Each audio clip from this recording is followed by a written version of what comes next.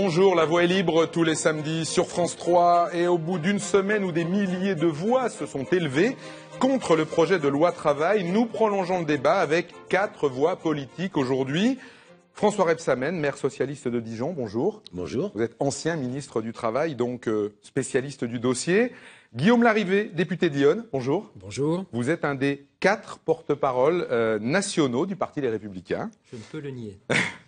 Alain Raymond, euh, représentant ici du Front de gauche, bonjour. Bonjour. Euh, vous êtes euh, représentant du Front de gauche de Lyon. Euh, et Antoine Chudzik, vous êtes conseiller régional de Saône-et-Loire pour le Front National. Bonjour à vous. Bonjour. Alors pour tout vous dire en préparant cette introduction, il y a quelques jours, j'avais écrit des millions de voix. Et puis finalement, les chiffres de la mobilisation de mercredi sont plus modestes. La fourchette va de 250 000 à 500 000 personnes. Quelle lecture faites-vous de la semaine écoulée, François Rebsamen? Est-ce que vous partagez l'avis de Jean-Marie Le Guen, le ministre, qui a dit la mobilisation n'a pas fait la démonstration du refus? Non, je ne me prête pas à ce type de commentaire sur ce texte. Ce, que, ce dont je m'aperçois, c'est qu'il y a eu euh, une mauvaise présentation, je pense, euh, qui a nui euh, au texte avant même qu'il soit sorti, puisque je trouvais que c'était une maladresse même d'annoncer à l'avance éventuellement euh, que ce texte passerait avec un 49-3. Ça a eu euh, l'heure de braquer une partie de la, la majorité euh, de gauche euh, à l'Assemblée. Et donc, euh, moi, je pense qu'il faut négocier, euh, toujours négocier, écouter et, et tenir compte euh, de ce que diront les organisations patronales et syndicales, notamment euh, les syndicats réformistes avec lesquels nous voulons avancer. Guillaume Larrivé, quel regard vous portiez Est-ce que les Républicains attendaient de faire les comptes aussi? Non, ce qui compte, c'est le fond. Il y a 5 700 000 chômeurs en France. Il y a dans notre pays euh, une exaspération euh, et une inquiétude euh, extrêmement forte. Et face à cela, il y a une urgence, c'est de décider.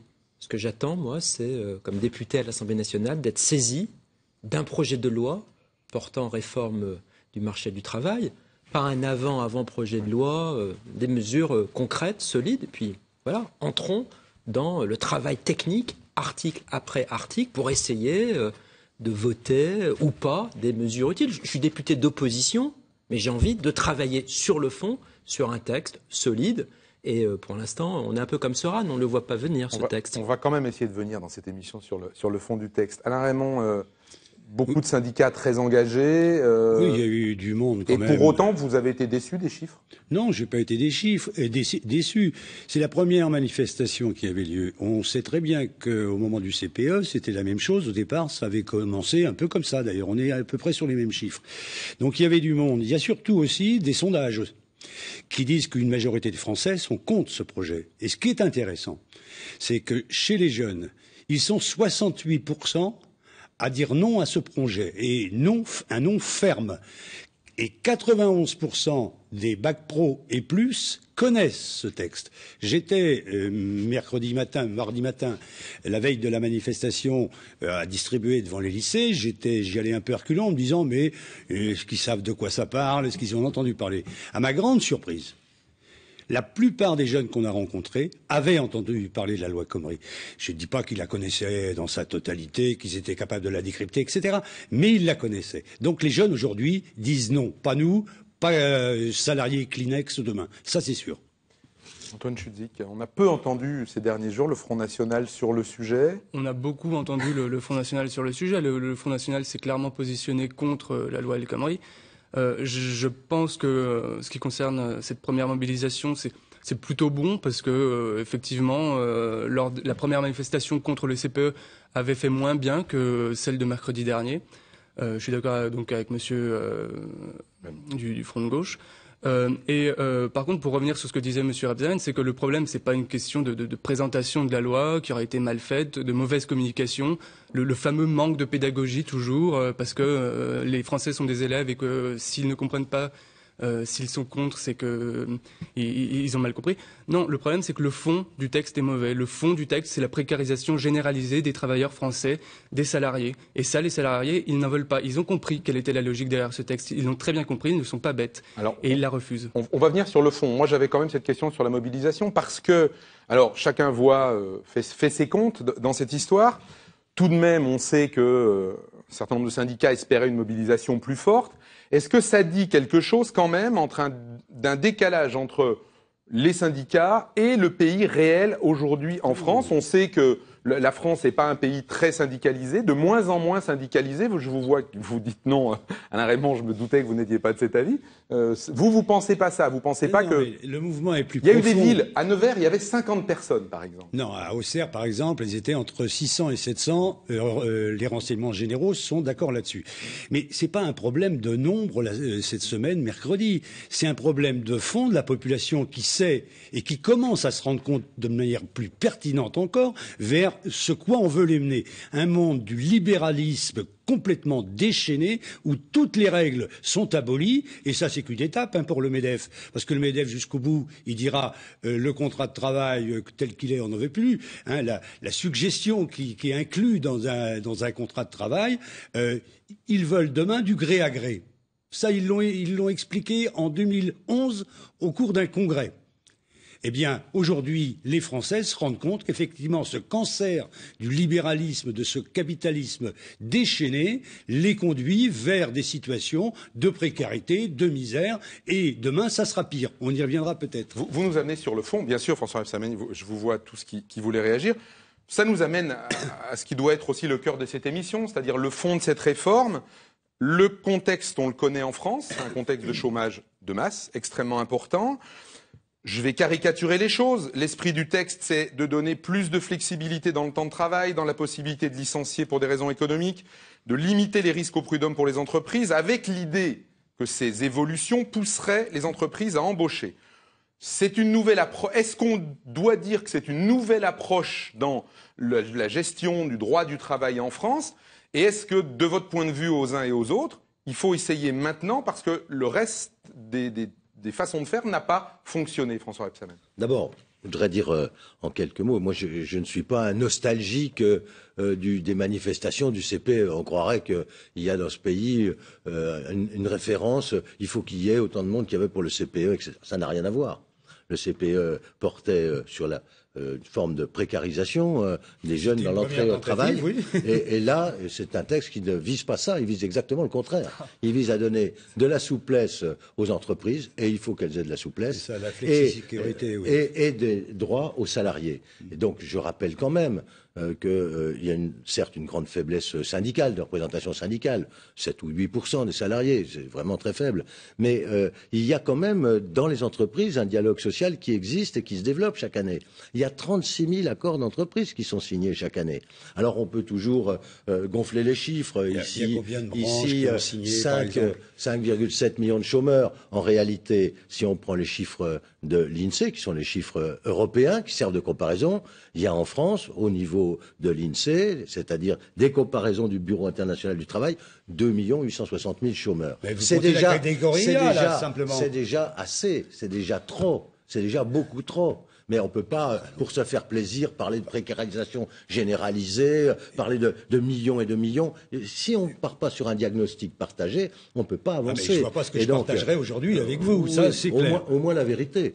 Vous pourriez ben non, monsieur, 2 millions de chômeurs, il y en a beaucoup plus, enfin. 2 millions 860 C'est une plaisanterie. Les, les, spectateurs, pour vérifier, 2 millions 860 000 selon la les catégorie chiffres de l'INSEE.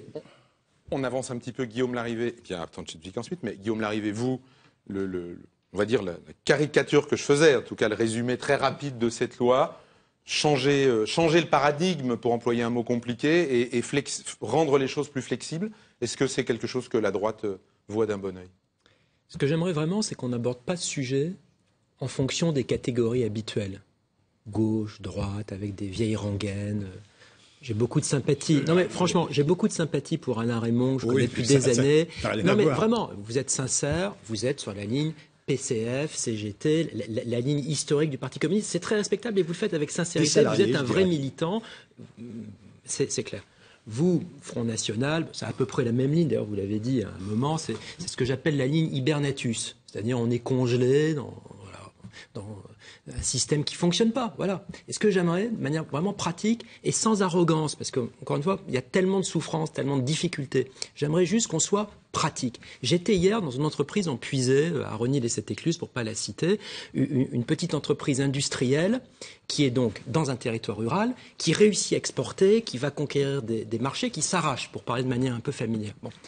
Qu'est-ce que nous disent les salariés et les entrepreneurs de, ces petites entreprises qu'on connaît bien les uns et les autres dans nos territoires? Ils nous disent des choses assez simples. Au fond, laissez-nous travailler. Alors, ils veulent pas euh, Alain Raymond une espèce d'ultra-libéralisme échevelé. Euh, c'est pas le grand capital avec un couteau entre les dents. Non, c'est pas ça. Ce qu'ils veulent, c'est un peu plus, effectivement, de souplesse. Exemple, un truc très concret.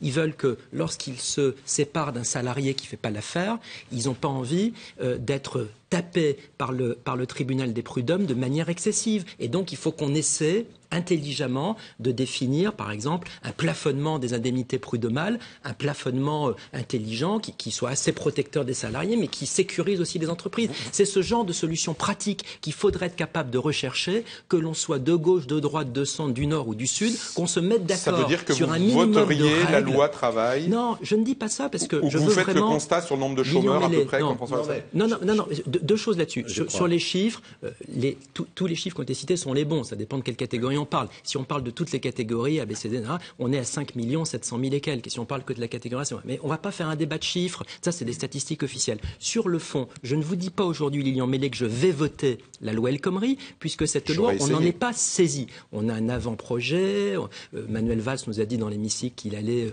euh, naturellement euh, saisir le Conseil d'État d'une lettre rectificative, c'est-à-dire une modification de ce projet. Il y aura peut-être un texte au Conseil des ministres du 23 au 24 mars. On en sera peut-être saisi ensuite. Soyons précis. Moi, ce que je veux, c'est juste dire que article après article, il y a peut-être des articles que, que je voterai. Je ferai des amendements voilà, soyons sérieux et n'attendons pas 2017, n'attendons pas 2017, une alternance que j'espère et à laquelle on travaille par ailleurs pour changer éventuellement certains paramètres. il y avait un mot transfert semaine et Antoine, je dis, pardon, pardon, à la cette semaine. Euh, un mot vous attendez, tout à fait. Sur le texte lui-même, restons au texte puisque c'est de ça dont il s'agit. Il y a dedans, euh, je crois, euh, des articles, ils seront débattus à l'Assemblée, au Sénat, des articles qui constituent plus de facilité pour l'entreprise, pour s'adapter au monde environnant. Et ça, euh, sans porter atteinte aux droits des salariés. Et puis, pour moi, il y a des articles qui doivent être euh, modifiés, amendés. On verra ce que le Premier ministre présentera euh, lundi et ce qui sera le texte qui sera soumis au Conseil des ministres, parce qu'on parle d'un texte qui n'est pas encore soumis au Conseil des ministres. On verra cela dans 15 jours. Indemnité prud'homale pour vous Moi, je... Facilité de licenciement économique? Je peux en parler facilement parce que j'ai fait avec Christiane Taubira le tour de France des conseils de prud'homme, des prud'hommes, des tribunaux de prud'homme, pour voir les différences. Aujourd'hui, euh, les tribunaux de prud'homme rendent des jugements qui sont très différents d'un territoire à un autre, très différents, avec des temps de réponse, des délais de réponse qui sont pénalisants et pour le salarié et pour l'entreprise. Et donc, euh, je pense qu'il faut essayer d'uniformiser la jurisprudence. D'ailleurs, les conseillers de prud'homme le demandent eux-mêmes. Et donc, euh, après, c'est soumis au, débat. Est-ce que les, indemnités prévues sont un plancher ou un plafond? Moi, je considère que ce que j'ai vu, c'est plutôt un plancher. Je veux dire par là qu'en Allemagne, c'est 24 mois quand on a travaillé 20 ans. On peut monter, là, c'est 15 mois dans le texte. Il faut modifier. Il faut modifier cela. Je, suis allé un peu vite. je suis allé un peu vite sur le fond parce qu'Antoine, tu et, et on peut rendre même euh, indicatif, indicatif euh, ce, euh, ce, barème. Et puis, je pense qu'il ne faut pas modifier comme cela les, les conditions du licenciement économique à la main du patronat. C'est donc ces deux points. Antoine Chutzik, il y, a quand même deux électorats au Front National, un électorat ancien libéral et puis un électorat populaire dans les dernières élections. Non, euh, non, non, Je vous sens sur l'électorat populaire, sur ce. Mais oui, effectivement. Euh, je, veux dire, de toute façon, il n'y a pas euh, de distinction à avoir, puisque l'électorat du Front National, il est d'accord sur l'essentiel, à savoir que vous parlez de nouvelle approche, par exemple. C'est une nouvelle approche, cette loi.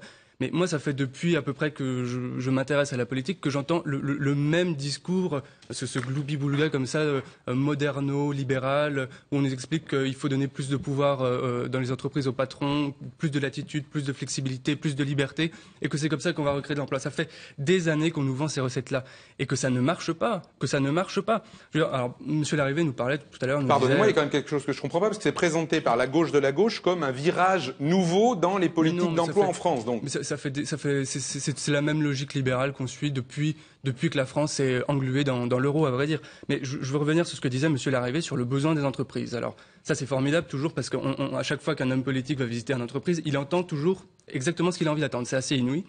Euh, il se trouve que quand l'INSEE interroge les, les chefs d'entreprise, la réponse est un peu différente. Les chefs d'entreprise disent à 47% que leur problème, c'est que le carnet de commandes n'est pas assez rempli. Il y a un problème de demande en France. Ils sont 14% à dire qu'ils ont, eux, un problème d'offre. Donc, bah, vous voyez bien que le, on s'interroge toujours sur les mauvaises questions, sur les mauvaises questions. Et donc, je, je, je suis assez content qu'aujourd'hui, par exemple, Monsieur, monsieur Larrivé soit, soit, à peu près d'accord finalement avec Monsieur Rebsamen. Euh, je suis content de l'entendre dire que le clivage droite-gauche n'est plus pertinent aujourd'hui pour regarder les débats qui ont lieu, parce qu'effectivement, ce débat-là, c'est pas le bon. Le, le débat, il est entre ceux qui acceptent la logique européenne, de l'euro qui fait que euh, si la France veut rester compétitive, effectivement, elle doit procéder à ce qu'on appelle de la dévaluation interne par la baisse des salaires, par la précarisation. L'alternative, c'est la sortie de l'euro, la monnaie nationale, et donc la dévaluation externe, externe qui Alors, puisque vous parlez d'Europe, puisque vous parlez d'Europe, non mais pour relancer la discussion, Guillaume Larrivé, oui, mais pour que les téléspectateurs comprennent, un certain nombre de pays européens, euh, la, l'Allemagne, on a beaucoup parlé de l'Allemagne, on a parlé de l'Espagne, on a parlé du Portugal, l'Italie récemment, François Hollande était en Italie, où Matteo Renzi a envoyé un message aux Français.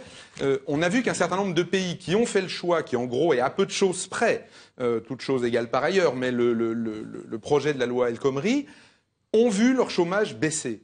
Est-ce que la France, non mais je vous pose la question à tous les cas, est-ce que la France doit suivre ce modèle tous les cas Ce qui m'intéresserait, au-delà de la récitation du catéchisme euh, et des, fiches, non mais c'est bon, enfin je veux dire, ça c'est des éléments de langage de Monsieur Philippot, tout ça, ça n'a aucun intérêt. Il faut être extrêmement concret. Par exemple, dans l'entreprise que j'ai visitée donc hier, il y a 47 salariés. Pourquoi il y a 47 salariés et pas 50 Pour une question qu'on a déjà beaucoup débattue à l'Assemblée au Sénat, que connaît par, par cœur également l'ancien ministre du Travail, la fameuse question des seuils. Ben voilà, moi je suis de ceux qui disent qu'il faut qu'on euh, suspende les effets pervers de ces seuils pendant quelques années, voire même qu'on les, qu'on les supprime, tout simplement parce qu'il y a des entreprises, j'en connais, je peux Ça n'aidera pas la loi travail à, passer. Si vous, à si les carrières, l'entreprise Tramver, pour ne pas la citer, elle a 49 salariés, elle veut pas en avoir 50 parce qu'il y a un problème de seuil. C'est ce genre de rigidité, au-delà des mots, au-delà de la théorie. Il y a deux, trois sujets comme ça concrets qu'il faut traiter. On a 800 articles dans le Code du travail. Il faut en toiletter certains. Ça ne veut pas dire qu'on mettra tout à bas, euh, monsieur. Guillaume Larrivé, pourquoi les seuils sociaux, euh, Nicolas Sarkozy ne les a pas modifiés parce Ils étaient déjà là, 50, bah, 250 Parce que, parce que tout, mais je réponds, à ça, tout, je réponds à ça, tout n'a pas été fait. Je suis très à l'aise là-dessus. On est en 2016, on avait fait son nombre de. Nos prédécesseurs ont fait des choses. Ça n'a pas été fait en effet, mais il faudra que ce soit fait. Voilà.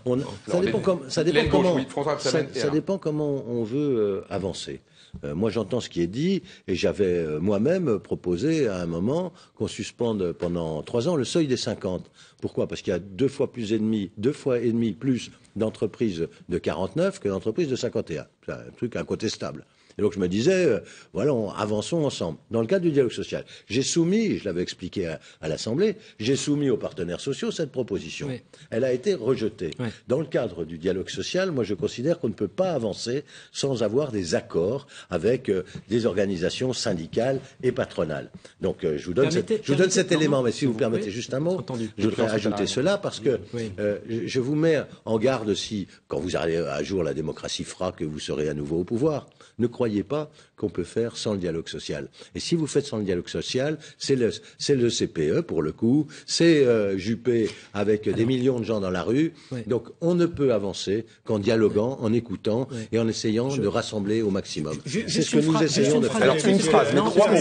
Parce que c'est, passionnant, parce que c'est, très démonstratif. Je ne doute pas de la bonne volonté qui a été celle de François Rebsamen quand il a voulu en effet suspendre les effets de seuil. Et effectivement, il nous dit celui des 50. Hein. Celui des 50. Et il nous dit à l'instant, j'ai pas fait parce qu'il n'y avait pas d'accord syndical. Et je crois vraiment, je, crois profondément que précisément l'une des raisons des blocages français depuis tant d'années, vous avez évoqué le plan Juppé il y a 20 ans, etc. L'une des raisons des blocages français, c'est sans doute de mon point de vue cela. Et donc moi, ce que j'aimerais vraiment beaucoup, c'est qu'un jour on vienne devant les Français, sans doute avant 17, qu'on dise des choses, qu'on obtienne un mandat via l'élection et qu'ensuite on le fasse peut-être François Rebsamen, et c'est une différence entre nous, peut-être en contournant, pour le coup, euh, la, nécessité d'un accord avec les syndicats. Moi, je pense qu'il faut parler directement aux Français là-dessus et les faire trancher.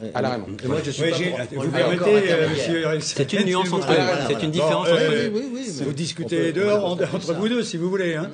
Donc, j'ai entendu deux choses de la part de monsieur Rebsamen, tout à l'heure, comme ça, en prenant des choses. Il ne veut discuter qu'avec les syndicats réformistes, donc avec la CFDT, je suppose. Bah, donc, ça fera plaisir aux autres euh, qui vont se sentir exclus. C'est Deuxièmement, quand même compliqué Monsieur de trouver des Rebsamen accords avec nous la dit, CGT, il vante, hein, attendez, je Sauf au niveau local. vante le dialogue social. Où est le dialogue social quand on nous, euh, nous est tombé ce projet de loi? Ça, c'est extraordinaire parce que les- personne. les- non, il n'y a pas eu de dialogue social. les consultations Ce que- sont là. Ce que c'est ce qui se passe François, cette semaine. François Hollande avait voulu. Il n'y a pas eu de dialogue social. En même temps, euh, François Hollande avait fait de la jeunesse sa priorité. Et aujourd'hui, elle est dans la rue. Beau succès partie, de votre partie, politique. ne- ne- On, ne- on ne- aura peut-être le temps d'en parler parce que je suis Non, pas certain que- que toute la jeunesse soit dans la rue. euh. Non, non, mais il y en a beaucoup. rêve pour des réalités. Non, Regardez, j'ai pas manifesté, Euh, je suis la réalité va vous venir dans la figure en 2017. Alors, euh, excusez-moi, euh, il est mieux de rêver. Pour monsieur euh, l'arrivée qui dit on va pas tout mettre par alors, terre. On va pas tout mettre par terre. Je suis désolé. Moi, je vais vous rappeler, si vous les avez pas entendus, les, les propos de monsieur Fillon cette semaine. C'est quand même bon. C'est pas votre cheval, celui que vous avez choisi pour gagner la course. Mais peu importe. Vous vous retrouvez après. Auxerre, Fillon a dit cette semaine. Non, vous êtes à Paris, vous êtes député aussi.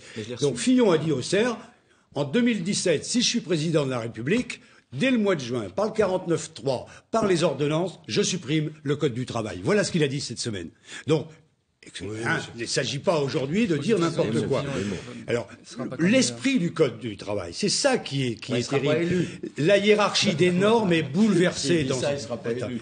La hiérarchie des normes est complètement bouleversée. d'accord avec Et vous, ça, c'est un point catastrophique. Ça, c'est un vrai sujet parce que c'est pas vrai. Si, parce Ben, que c'est pas vrai. avant, il y avait la loi, il y avait la- l'accord de branche et il y avait l'entreprise. Pardonnez-moi, Voilà. mais est-ce qu'il faudrait pas prendre le problème du côté des chômeurs Est-ce que le chômeur aujourd'hui, Voilà la il, il est- il a quelque chose à se dire sur la hiérarchie des normes est bouleversée Est-ce que les gens qui sont au chômage aujourd'hui, ça les intéresse Ou est-ce que ce qui les intéresse, c'est qu'il y ait plus de travail en France finir. Je S'il vous y a pose la plus de question hiérarchie- de cette manière-là. S'il n'y a plus de hiérarchie des, des normes comme il y avait, le salarié de- se trouve dans la négociation avec son chef d'entreprise avec un, un pistolet sur la tempe.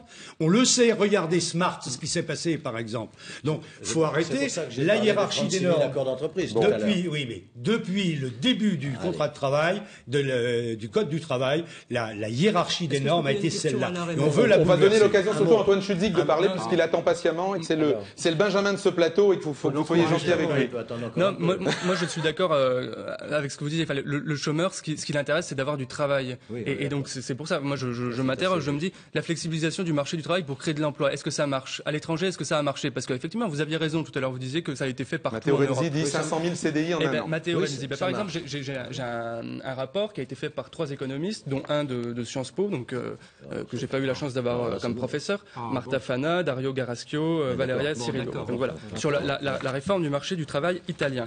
Eh ben, je vais vous lire la conclusion parce que quand je lis du- des travaux académiques de ce genre, j'ai- rarement lu des travaux académiques avec des conclusions aussi 479 000 nettes.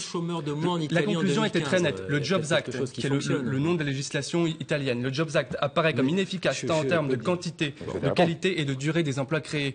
Parce que le job- la flexibilisation du marché du travail en Italie n'a pas créé d'emplois, elle en a détruit. Elle n'a pas amélioré la qualité du travail, Manif- elle l'a détérioré puisqu'il y a un recours Manifeste, tout accru. le monde n'a pas les mêmes, tout le monde n'a pas les mêmes conclusions. Vous voulez- Eh ben, non, mais c'est, Non, intéressant oui, puisque on entend en Europe des choses, des chiffres totalement Oui. opposés sur des pays qui ont fait des choix. La flexibilisation du marché du travail crée des petits boulots, crée de l'emploi à mi-temps, à temps partiel, des difficultés, des travailleurs précarisés. Oui, c'est pas ce que nous voulons pour la France. C'est ce pas le choix que nous avons fait pour la France. Nous voulons des travailleurs sécurisés dans leur travail. Et les accords d'entreprise, c'est pas la le renversement des normes. Si, c'est le renversement mais non. des normes. Enfin, Bah, enfin, il y en a 36 000 que signe la CGT chaque année. Alors, Mais attendez, ça il suffit. signe bien sûr Non. un certain nombre de choses. Bah alors, mais, voyez, voyez, mais c'est- au niveau local, Mais c'est sur l'esprit de ce code du travail. Bon, enfin, on pas- on n'y revient pas. Vous changez La- tout la et vous mettez le salarié la comme un otage. C'est vous les socialistes en, qui faites ça. En Allemagne, en Allemagne, il y avait C'est- le 8%. contexte était différent. En Allemagne, il y avait 8% de Il y chômeurs. avait- Il y en a il y plus avait que de 4,5. l'inflation, il y avait de la Il y croissance. avait une, il y avait un taux de pauvreté des chômeurs en Allemagne qui était de 32%. Le taux de pauvreté des chômeurs allemands était de 32%. Il était de 32% Il y pour les chômeurs français. Cinq ans plus tard, le taux de pauvreté des chômeurs allemands, il est de 70%. Le taux de pauvreté des chômeurs français, il n'a pas bougé. Donc nous avons un système qui est sécurisé. Est-ce qu'il est trop rigide? Peut-être on peut le faire bouger. C'est ça que je dis tout simplement, dans l'intérêt pour faire rentrer des jeunes sur le marché du travail. Il en rentre d'ailleurs des jeunes sur le marché du travail. Ils trouvent du travail au bout d'un certain temps. Un million rentre. 29 ans, un 30 ans à million. Il y a aujourd'hui aujourd'hui un taux de chômage des jeunes, un taux de chômage des jeunes par rapport à l'emploi qui se situe aux alentours de 8,5%. C'est énorme. Mais c'est que 8,5%. Il faut aussi relativiser les choses. Et donc, les jeunes, ils vont trouver du travail. C'est pas la peine de les désespérer. Ceux qui sont formés, ceux qui ont fait des études, ils trouveront du travail. Et si on peut les faire rentrer plus vite dans le monde du je, sors de chez moi. Allez les si on peut les faire rentrer plus vite dans le monde du travail, c'est ce que nous souhaitons. Et comment les faire rentrer plus vite dans le travail? Eh ben, tout simplement en essayant de sécuriser leur embauche par des, plus par des CDI que par des CDD. C'est ça que nous voulons. Et aujourd'hui, euh, c'est 80% de CDD qui restent dans les embauches. Alors, il, y a 85% de CDD il nous reste peu de temps avant la fin de cette première partie. François Absamen a dit tout à l'heure ce qu'il voulait, l'aimerait, je vais y arriver, voir modifier dans ce projet. Est-ce que vous trouvez qu'il y a des points pour j'ai bien compris qu'il y a une opposition assez forte euh, pour certains, mais des points positifs tout de même dans, ce projet. Euh, Alain Raymond, par exemple, le compte d'activité, c'est quelque chose qui vous semble positif Non, mais il n'y a rien de positif, puisque l'esprit au départ est mauvais et renverse tout. Donc il faut euh, enterrer ce, ce, fameux projet et reprendre langue avec les syndicats. Non, mais Monsieur on sait très bien que vous avez choisi une voie qui est celle, celle de la voie de l'offre, de la politique de l'offre, du libéralisme à tout craint. bon, bah, vous avez, vous, on, vous, on dit de vous que vous êtes de gauche encore. Vous-même sans doute le dites. Bon, personne ne vous entend et vous, écoute. La gauche, il y a longtemps que vous l'avez abandonnée. Vous avez abandonné. Mais oui, moi je me permets de vous dire ça, monsieur. Vous avez abandonné, y compris Jaurès. Et j'aurais pas de leçon à recevoir de quelqu'un qui stipendiait les chômeurs il n'y a pas longtemps quand il était ministre du Travail. vous les accusiez à ce moment-là. accusé de rien, j'ai demandé à ce qu'il y ait un contrôle de ne pas chercher du travail. Voilà. Donc, j'ai pas de leçon à recevoir de, quelqu'un comme vous. C'est pas vrai, vous dites des choses qui sont fausses. Histoire de dévier le tir. Guillaume Larrivé, il y a quelque chose de positif pour vous? Qu'est-ce que vous trouvez positif dans ce texte? Ce que je trouve. Mais arrêtez. Ce que je trouve très négatif, c'est espèce de posture. Encore une fois, c'est très bien le Parti communiste, c'est très sympathique. On devrait d'ailleurs, je trouve, même créer des musées éventuellement pour ça. Bon, très très sympathique. Je constate que le Front National est sur ce dossier exactement sur la même position. Hein. position Mélenchon, position Le Pen, identique. Ne modifions pas le code du travail, sortons de l'euro. Voilà, euh, c'est la même ligne. Non, non, c'est pas, du tout la même ligne. Mais si, au plan économique, au plan économique, au plan économique, ça, peut être un peu embêtant pour vous. Vous ah n'êtes pour rien. Enfin, je constate. Vous n'y êtes pour rien mais je constate, je constate que aujourd'hui le Front National sur les questions économiques est sur une ligne et sur une ligne néo-communiste qui, grosso modo, c'est la résurrection de Georges Marchais. Bon, si on veut être un tout petit peu sérieux, il faut prendre des hein. sujets en 30 secondes, article après article. Par exemple, moi je souhaite, si la loi El Khomri vient au Parlement, je présenterai un amendement avec mes collègues républicains sur ces histoires de seuil pour essayer de, de, de, de contourner Ce le sera le retour de la loi Rebsamen dans ce cas-là sur la loi El Khomri. Par exemple, par exemple ça, je suis favorable, contrairement au Parti communiste, au Front National, moi je suis plutôt favorable à ce qu'on essaie de trouver des accords d'entreprise pour euh, s'organiser dans les entreprises, voilà, pour donner un peu de liberté aux entreprises. Et je suis obligé de vous couper, vous entendez la musique, mais on va continuer ces discussions après les informations de midi. En particulier, on se posera la question des conséquences qui va se passer dans les semaines et, dans les mois à venir. A tout de suite, juste après les informations.